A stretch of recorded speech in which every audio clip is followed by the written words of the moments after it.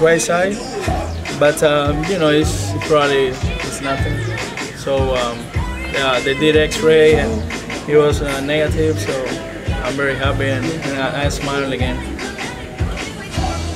What did you see from Rick as the game went along? Well, uh, I think uh, you know uh, Willingham was the one who you know who hurt us. You know, um, he did pretty good job with everybody else. You know, especially you know keeping the ball down and, and, and mixing it up and and uh, he gave us a chance, man. He gave us a chance to come back and and to win the ball game, and uh, that's why I really you know can ask about you know a guy like that, because uh, you know he uh, he struggled in that inning, but um, then he bounced back and and uh, you know he gave us a chance, like I said.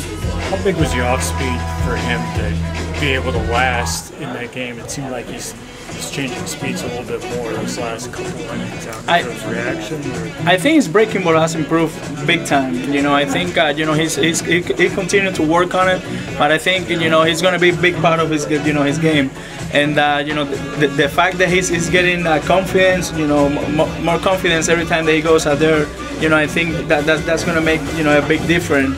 You know, and uh, today it, proved. You know, it shows that uh, when he was kind of in the jam. You know, he he, he went to uh, his breaking ball, and that breaking ball was the one who bailed us out. So that's pretty good, and that's a great, um, you know, that's a great, uh, good situation for us and for him, you know, because I know how hard he works, and and uh, you know he's getting there, man.